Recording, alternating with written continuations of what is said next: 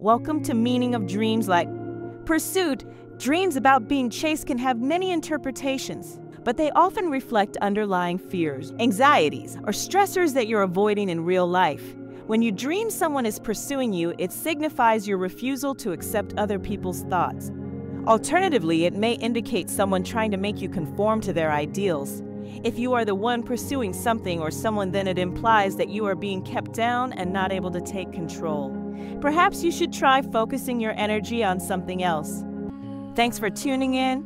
Ready to dive even deeper into the mysteries of your dreams? Don't miss the index in the description, your guide to unlocking the hidden meanings behind your nocturnal journeys. Stay curious and see you in the next video for more dream discoveries.